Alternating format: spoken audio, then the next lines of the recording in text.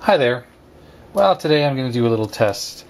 I've always wanted to know if um, I was on a, like a backpacking trip or somewhere outside, you know, on a hike, and I was going near water. I wanted to know if I put my cell phone in a Ziploc bag that um, it would be protected if I fell into water.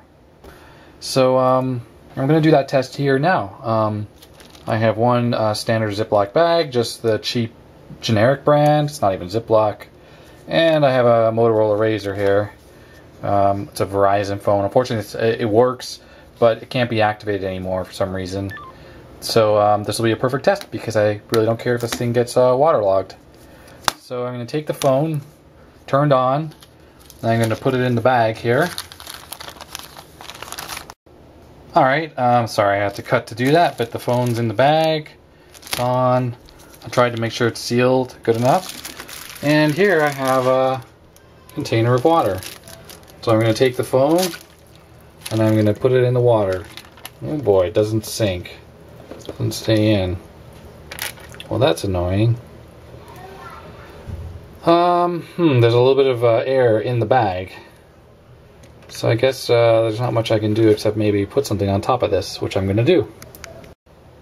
Alright, I know it's a little bit uh, ghetto, but I put my uh, washing detergent on the bag and the phone is underwater there. Not much but um, it is so I'm just gonna leave this here for a while see what happens.